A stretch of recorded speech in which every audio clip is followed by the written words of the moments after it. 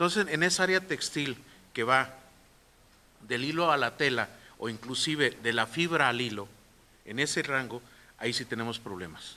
Hay este, una baja muy importante eh, en algunas empresas debido a la competencia feroz que se tiene particularmente de productos extranjeros que desafortunadamente están en serio, poniendo en serios problemas a esta industria. Es una tendencia nacional porque los precios por eh, los altos costos que se tienen en México, pues este, están provocando justamente que estemos en desventaja en esa, en esa área industrial. Esperamos que eso se revierta, también estamos viendo con cada una de las empresas pues las negociaciones correspondientes, pues a efecto de salir adelante. Bueno, no tengo el dato preciso, eh, calculamos que debe de ser aproximadamente unos 3.500.